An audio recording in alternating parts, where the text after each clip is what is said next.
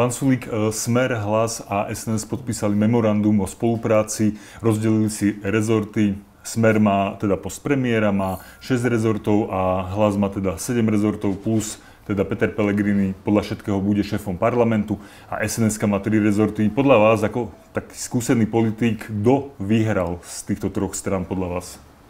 Tak Robert Fico, lebo stiahol toho Pellegriniho. Možno už boli dohodnuté aj vopred, to neviem, ale každopádne ako Fico zostrelil vládu, no tak vyhral on.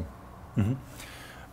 Nevyhral možno aj svojím spôsobom Andrej Danko tým, že vlastne podľa všetko vznikne nové ministerstvo a to bude ministerstvo športu a cestovného ruchu a to bola taká srdcovka práve Andreja Danka a no, možno práve ono bude mať pod palcom. Viete, že to, to ministerstvo bude tak zbytočné ako celý Andrej Danko v politike, to je škoda komentovať. A, a ak bude Saska niekedy znovu vo vláde, tak budeme sa snažiť takéto zbytočné ministerstvo zrušiť. Robert Fico povedal vlastne na tlačovke po podpísaní toho memoranda k tomuto ministerstvu takú, takú vetu zaujímavú. Tieto náklady nebudú veľké, keďže ide o oblasť, ktorá je už pokrytá niektorými orgánmi v tomto štáte. Vy ste bol minister hospodárstva, podľa vás to bude teda naozaj že la, lacný špás? No veď práve preto, že tie oblasti už sú nejakým spôsobom dnes pokryté. Šport je na školstve, cestovný ruch je na doprave. Je úplne zbytočné zakladať takéto ministerstvo Koľko to bude stať nákladov, to Máte vám neviem odhad? povedať, aké budú vysoké náklady, ale ono to tak časom vždy bobtná, bobtná. Pôvodne aj Miri bol iba nejaký úrad, potom sa z toho spravilo ministerstvo, potom pani Remišová si tam zamestnala tisíc úradníkov. Hej. Takže to, ono to raz dvie, tak úradníci si vždy vedia obhájiť svoju existenciu. Nemení to nič na podstate veci, že toto ministerstvo je kompletne zbytočné. Mhm. To som chcel presne porovnať s tým Míry, že či bol, bolo podľa vás nutné zakladať aj miery a že či to nie je nejaké podobné, alebo v čom sa to líši od tohto cestovného ruchu? Tak predsa tie eurofondy, tam bola tá snaha uh, počas našej vlády to skoncentrovať, to čerpanie eurofondov a riešiť to nejak významným spôsobom z jedného miesta. Ale či to naozaj tak klaplo podľa plánov, to si dovolím o tom pochybovať. Silové rezorty teda budú mať hlas a mm. smer. Podľa všetko teda Matúš Šutaj Eštok bude šéfovať ministerstvo vnútra a ministerstvo obrany vraj Robert Kaliňák, e, teda podľa takých kuloárnych rečí a medializovaných informácií, keď to počujete, čo, čo sa vo vás No ja sa k tým rezortom vyjadrím, keď už tie obsadenia mm. budú naozaj, tie mena to lieta hore-dole. Takže vyjadrím sa, keď už naozaj budeme vedieť, že kto bude čoho minister. Dobre, ale tak vo všeobecnosti, že hlas a, hlas a smer určite budú mať tieto silové rezorty. Však vyjadrím sa, keď budeme mať aj tie konkrétne obsadenia. Mm, predsa je rozdiel aj medzi tými jednotlivými ľuďmi. Mhm, takže je rozdiel podľa vás, keď budeme mať napríklad vnútor pani Saková, Denisa Saková a Matúš Taještok? Že... Medzi každý, všetci ľudia sú rôzni, tak jasné. Mhm. Jasné, že tam je rozdiel. Každý minister predsa dá tomu nejakú svoju, svoju pečať, tak to uvidíme. Ministerstvo spravodlivosti už nepovede pani Kolíková. Vy si myslíte, že čo nastane tam uh, na tomto rezorte? Budú tam nejaké škrty, možno aj v týchto silových rezortoch? No, hlavne keby to pani Kolíková viedla, tak by vedela dokončiť súdnu mapu. To by bolo Reformu veľmi dobré. A preto, lebo tá ešte nebola úplne hotová. V našej koalícii to brzdil Boris, Boris Kolár v podstate zo zbytočných dôvodov. Niečo sa podarilo spraviť, ale to je práve reforma, ktorá ešte mohla byť dokončená. No tak e, Peter Pellegrini sa rozhodol ako rozhodol, takže táto reforma na teraz dokončená nebude. Mm. Tam sa hovorí práve o tomto rezorte o Borisovi Suskovi.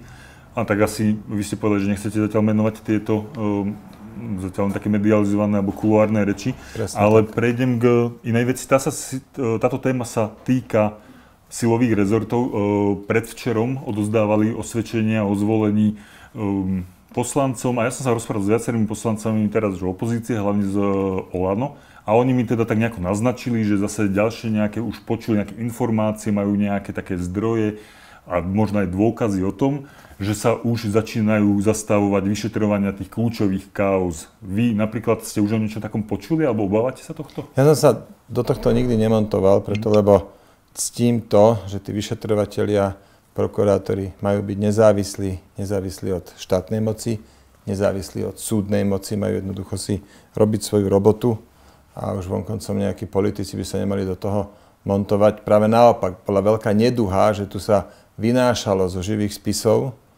čo teda je trestný čin, e, zverejňovanie rôznych informácií, tam, tam je niekoľko trestných činov možných.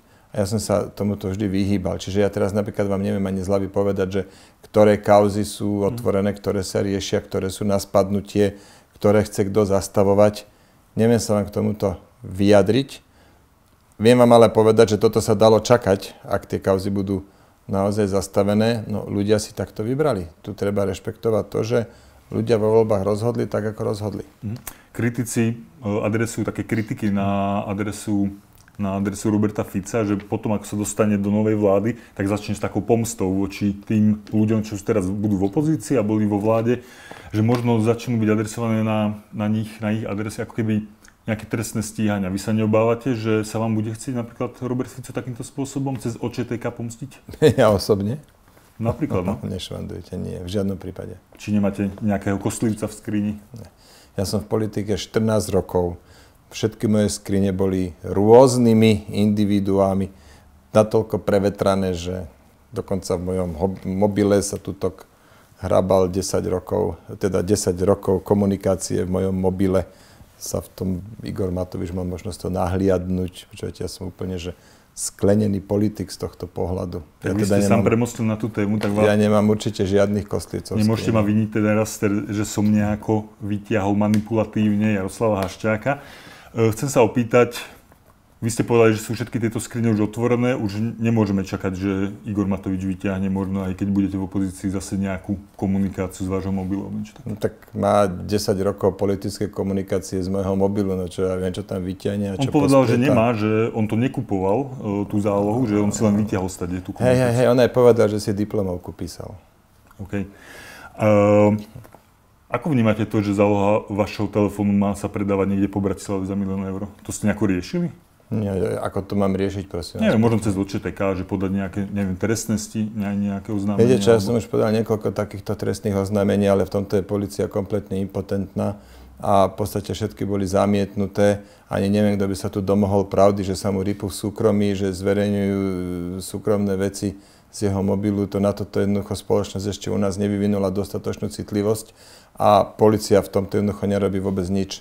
Igor Matovič ma tu niekoľkokrát ako vážnym spôsobom ohováral, očierňoval, ja som podal trestné oznámenie, policia to zamietla. Podal som na to sťažnosť, prokurátora to zamietla. Robert Fico tu o mne e, rozprával, že organizujem kokainové večierky, čo som sa v živote kokainu nedotkol, nikdy v živote. A na to som dal trestné oznámenie, aj to bolo zamietnuté. Jednoducho policia je v tomto úplne impotentná a to že, nie, to, že tu chodí obsah môjho mobilu, že sa dá kúpiť, no tak ja s tým musím žiť, no som v politike, aj s takýmto niečím som musel rátať, nepáči sa mi to.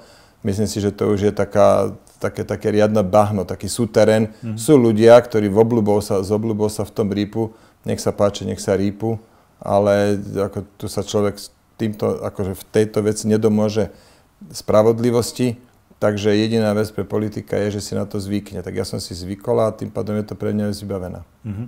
Takže čo sa týka tých informácií, ktoré nejakým spôsobom teda na tej tlačovke Igor Matovič dal ďalej ohľadom Jaroslava Haščáka a vašej komunikácie, nebudete to už hnať ďalej na očetek a nebudete podávať žiadne trestné No ale viem, že Jaroslav Haščák podal trestné oznámenie.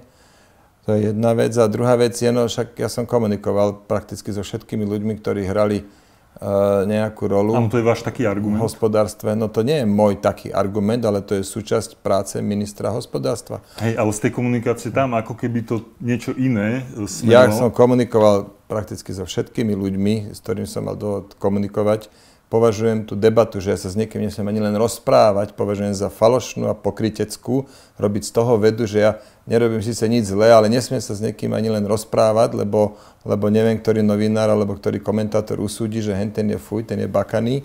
A, a táto téma je pre mňa vybavená. Ja som sa už aj v minulosti vyjadril ešte pred voľbami, že sa nebudem k tomu teraz vyjadrovať. Áno, len tam problém je iný, že tá komunikácia ako keby ukazovala, že nejakým spôsobom vás úkoloval Jaroslav Počuli ste, nebudem sa už tomu viac vyjadrovať. Stretli ste sa niekedy s Jaroslavom Haščákom osobne? Stretol som sa s ním aj osobne, áno, ja sa s ním poznám 20 rokov. Mm.